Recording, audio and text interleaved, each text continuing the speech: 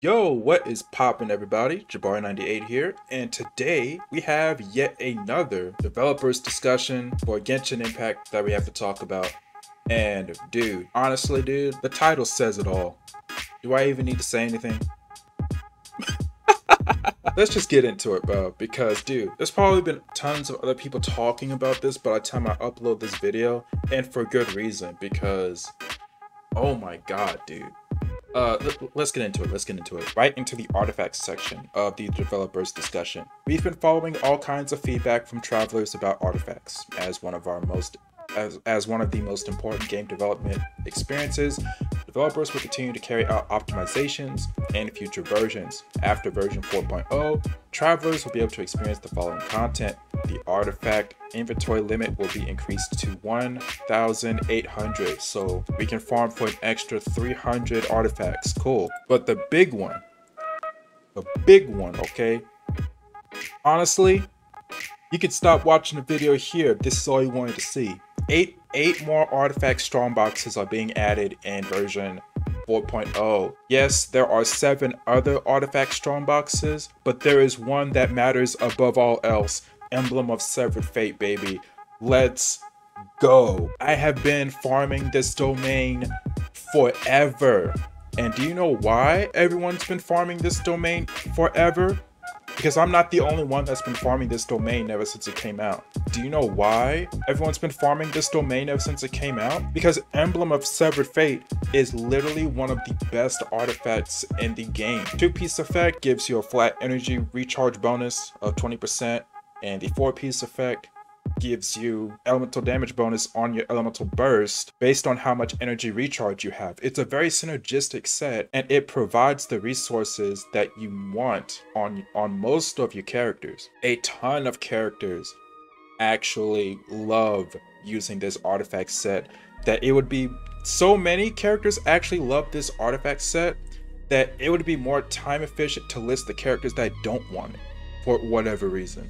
But I'm not going to do that. Instead, I'm just going to say that in addition to the Emblem of Severed Fate artifact set, there's also Tenacity of the Millelith set, Pale Flame for Eula, Shimenawa's Reminiscence, uh, Husk of Opulent Dreams for the vast majority of Geo characters. I know my Noelle and Goro is going to absolutely love being able to finally farm this set. Uh, Ocean Hued Clam for all the healer characters like Kokomi and Barbara, Vermilion Hereafter, and Echoes of an Offering. So, a lot of good artifact sets too that are going to be strong boxed.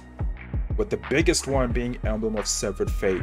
Thank you, thank you, thank you, thank you, thank you. I it's going to make farming better artifacts for this artifact set so much more efficient when version 4.0 finally hits, dude. Thank you so much. But there is more. The destruction function of artifacts in your inventory will be optimized where you can add 4-star artifacts at once now. Hopefully, they add a function to where you can choose what type of set can be destroyed. Because there are some some 4-star artifact sets that are actually like really good to have in a pinch, like the Exile set for energy regeneration because that's the set that I run on my Goro actually. But here's some interesting news right here. More optimizations for, for artifacts are currently in the plans. Here we would like to share some thoughts with you. Locking of artifacts, right? The dev team has been looking for ways to reduce the cost of man managing artifacts and improve your experience. We will optimize the locking function in the future allowing travelers to lock artifacts that they want more easily. And this on top of the second section, equipping of artifacts, Regarding the current cumbersome process of equipping artifacts, we are currently discussing a new plan to help travelers select and equip artifacts as quickly as possible we're in the midst of discussing specific plans for the above optimizations.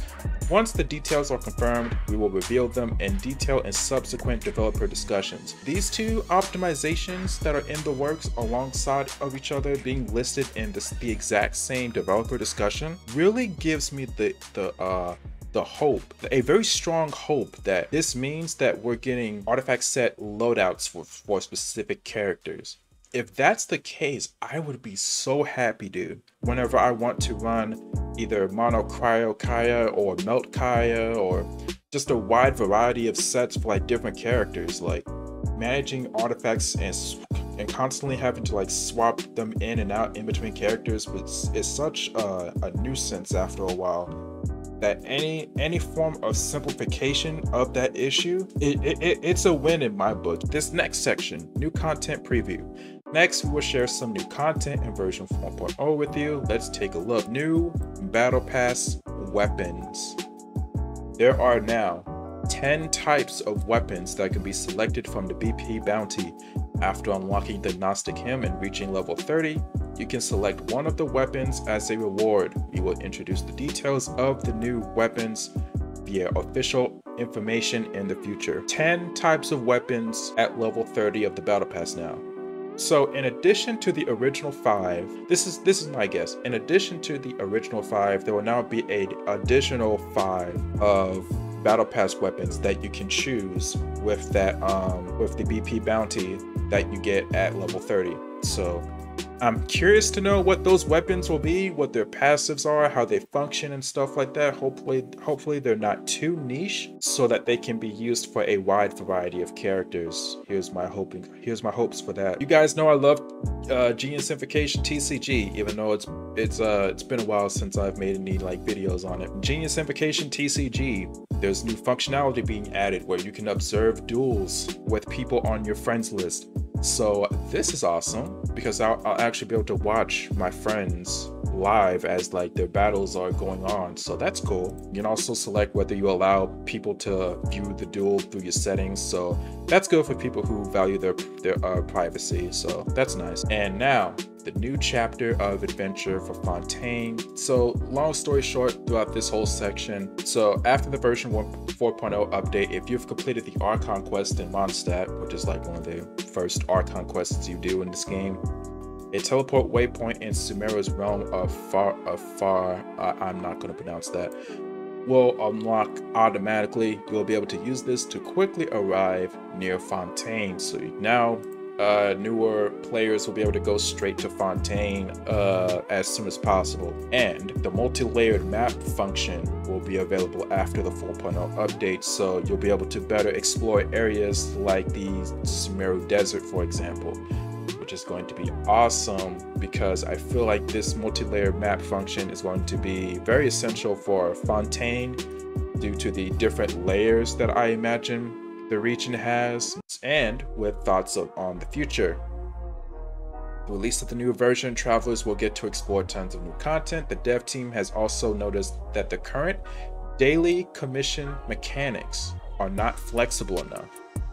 What we'd like to share here is that the relevant optimizations are currently in the pipeline.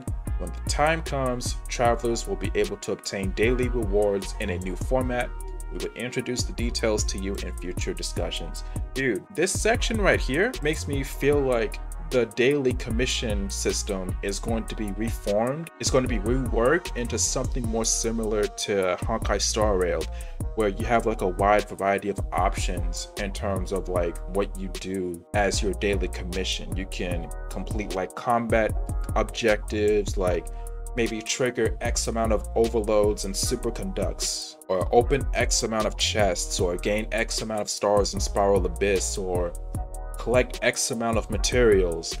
Like I feel like at this extra like amount of diversity in what players can do on a day-to-day basis to to finish their dailies would be very awesome because that's one of the things I like about Honkai Star Rail's uh, daily commission system the most. Just a lot of general quality of life improvements in Honkai Star Rail that I'd wish were eventually added to. But yeah, that is the gist of this developers discussion. If you guys enjoyed this video, make sure to like, comment, and subscribe for more. And I will see you guys on the next one. Peace.